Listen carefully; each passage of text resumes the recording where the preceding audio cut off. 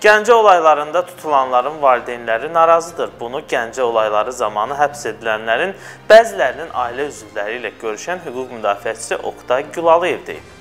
Hüquq müdafiəçisi Oqtay Gülalıyev 2018-ci ildə baş verən Gəncə olayları zamanı həbs edilənlərin bəzilərinin ailə üzvləri görüşüb. Bu barədə hüquq müdafiəçisinin özü məlumat verib.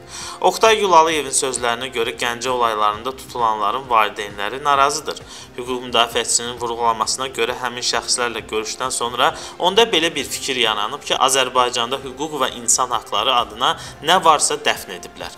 Hüquq müdafiəçisi valideynlərə istinadən bildirib ki, Gəncə işi ilə bağlı həbs edilənlərdən heç birinin lazımi şəkildə müdafiə hüququ təmin olunmayıb. Stat: Onların işində bir nəfər də olsun müstəqil vəkil iştirak etməyib. Həbs olunanların bir çoxunun hansı maddələrlə ittiham olunduqlarını bilmədikləri deyilir.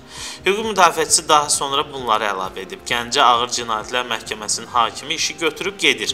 Bakıda məhkəmə prosesi keçirir. Həbs olunanlar isə sadə, kasıb insanların övladlarıdır. Çoxu övladlarının məhkəməsində iştirak etmək üçün Bakıya gedə bilmirlər. Onlara aylarla sovqat apara bilmirlər.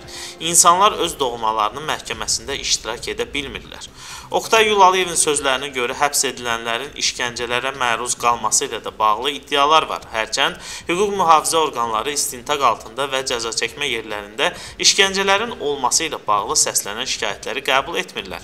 Hüquq müdafiəçisinin bu açıqlamasına hələlik rəsmi qurumlardan ayrıca münasibət almaq mümkün olmayıb.